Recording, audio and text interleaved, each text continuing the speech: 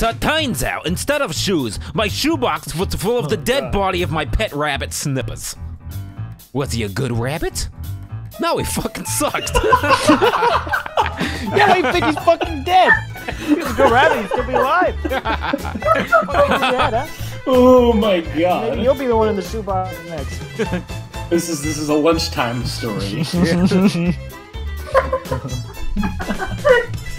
That was great. oh, poor Snippers.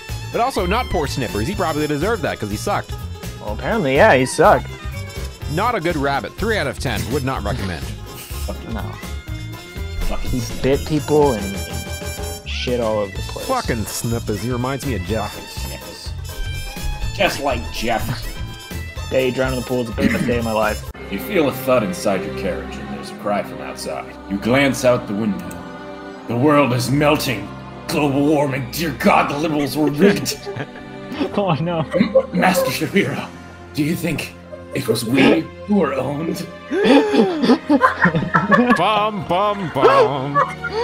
Yeah. That I was love, really I love the implication that it's Ben Shapiro inside the carriage. Master Shapiro. Oh. Master. I'm afraid. Master Shapiro, do you think it was we who were owned? Oh, It all that fit the an- theme pretty is an- well. that is an incredible ending line. I'm. s I'm, I'm s- Oh yeah, stroke That's, my a, ego that's a book to be proud of. yes. That's a, honestly, this is a better Yeah. story than the novel that Ben Shapiro wrote. Better than right. anything Ben Shapiro wrote. I You're don't right. doubt it. Ben, the liberals were rigged. The liberals were rigged. I couldn't fit But- right. Who was making the cry from outside? the liberals. the liberals. Yeah. They're like, we're right! We're offending! And we were right! Maybe, maybe it was the polar bears in the, in the Polar bears out for revenge.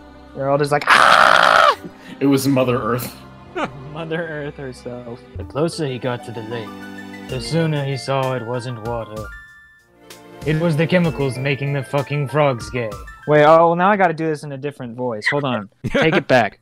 The closer he got to the lake, the sooner he saw it wasn't water. It was the chemicals making the friggin' frogs gay. that being said, excellent taste. Would recommend it to all frogs. Editor's note.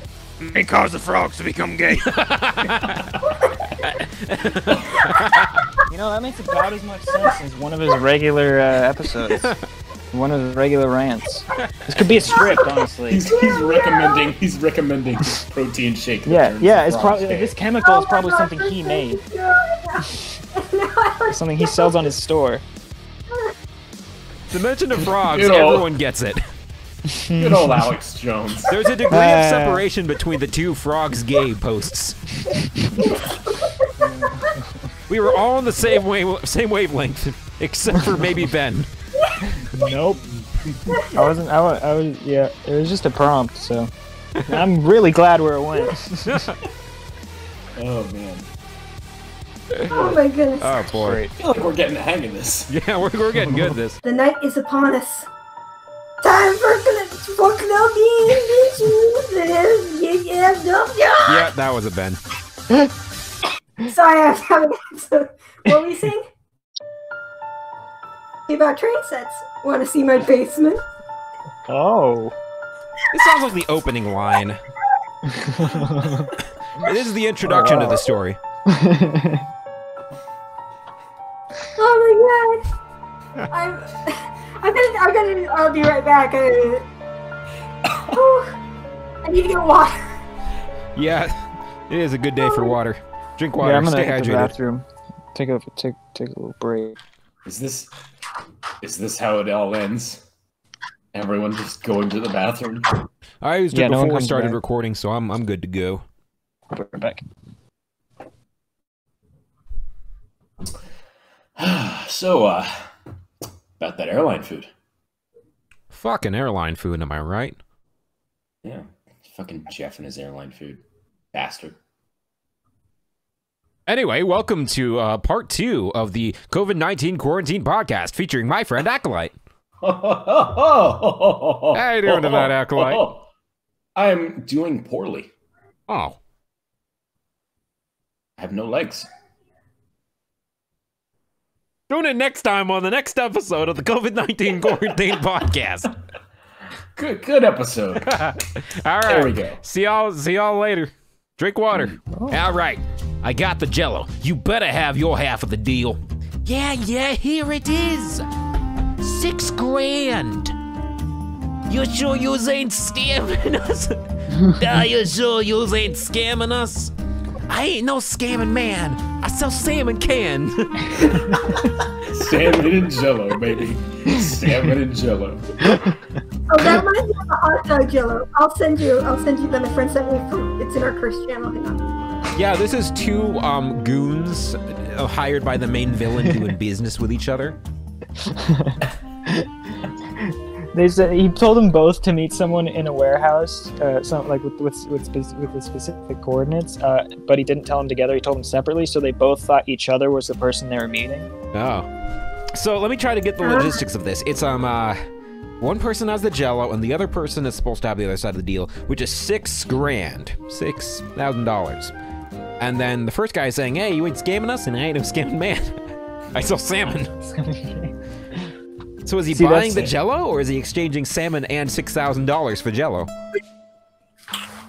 Well, maybe you know, I think- maybe the implication is that like he's a salmon man, he's a salmon guy, but for this one time, he, he gave him Jello. You know? Oh, okay, He- so he he's did not a- talking He did him a about little side. The current transaction. He's saying that Does does salmon does salmon inherently make one trustworthy? Yeah, that's the implication here that hey, I'm a good Yeah. man. I mean I sell salmon. How bad could I be? I'm just a salmon. I'm just a canned salmon salesman. How, I- what could I do? Huh? I ain't no scamming man. I sell salmon canned.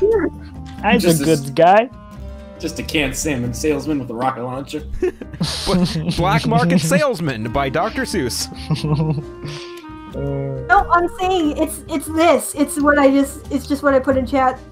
Except with salmon, except except not hot dog. That's It's- it's disgusting. salmon. Mm. that is dude, that is fucking disgusting. I disgusting. know. Just at dinner. When I found that box, everything changed.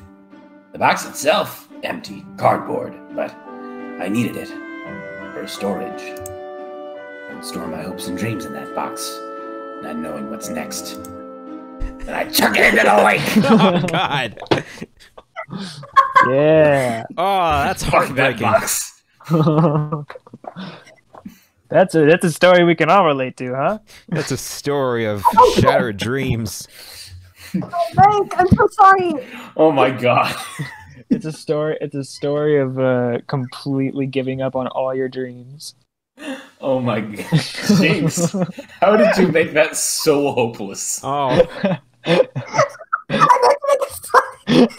I don't know. I just had that one context, and I'm like, oh, it'd be funny if I chucked it into the lake. did you ever hear the Yeah. tragedy of Arthur Boxtus the Unwise? It's not a story the uh, Not a story my pet rabbit would Jedi tell you. would tell you.